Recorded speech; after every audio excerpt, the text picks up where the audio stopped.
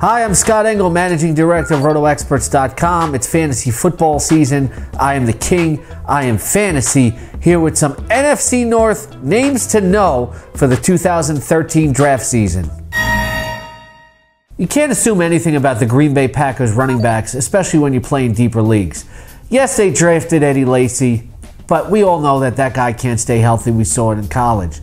Jonathan Franklin is not built to be a bell cow or a large workload back if he's pressed into that service. So don't forget about DuJuan Harris, who played late last year. He's not very tall, but he's built thickly, and he's a real fire hydrant who can break tackles. If you're one of those maybe 15 plus round drafts, or if you're just feeling kind of kind of sparkly late in the late rounds, take a shot on DuJuan Harris.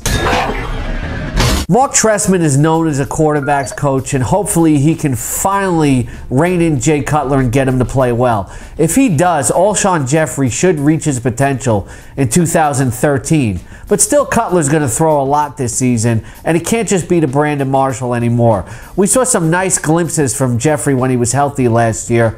I believe that this is the year Alshon Jeffery breaks through. Big target, good hands, good on field instincts. I look for him to take a step forward and be a good fantasy wide receiver three. Greg Jennings is the newest Packers wide receiver, but he's had trouble staying healthy. And even if he does, he's going to need a compliment. The Minnesota Vikings might be looking to Jarius Wright to mature and emerge as a possible playmaker this season. When you get in those final rounds and you're looking for sleepers, Jarius Wright certainly has the measurables. He'll have to improve his route running as well, but if Jarius Wright can start to mature in 2013, he could be a real deep fantasy sleeper for your team.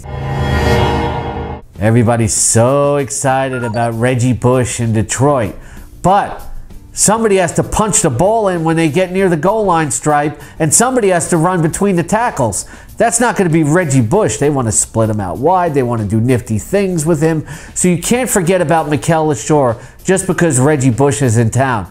Injuries are always an issue for Leshoure, but if he stays healthy, especially in non PPR leagues, you'll get the touchdowns you want.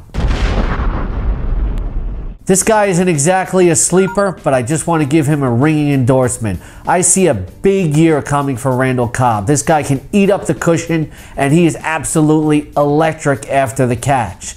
Sure, Jordy Nelson is still there. Sure, James Jones is still there. But Aaron Rodgers is still going to spread the ball around a lot for wealth to go around wonderfully.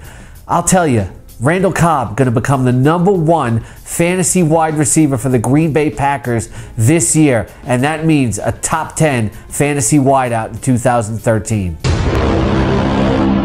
The exclusive Edge fantasy football package on rotoexperts.com is here, right on the homepage. Get it now. We carry you all the way from draft day to your Super Bowl.